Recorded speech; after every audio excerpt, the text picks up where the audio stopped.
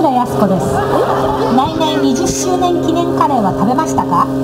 矢部ビッグハッター味は甘口チキンカレー岡村熊田味は辛口キーマカレー愛情のありなしで料理の味に違い。が出るのか2つを食べ比べながらお試しください。噴火山が12時ちょうどお知らせします